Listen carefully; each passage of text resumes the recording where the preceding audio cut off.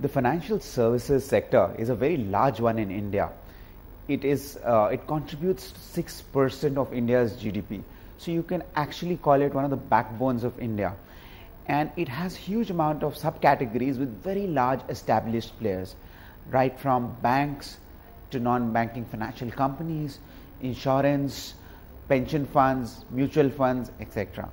Very crowded category, and therefore making a choice for us of the winner was very tough. I think what the jury was looking at was twofold. Given that a large part of India is unbanked, we were looking at people who are educating the large Indian masses well. Another trend that we saw was that a lot of financial institutions were trying to establish themselves as the digital banker of choice.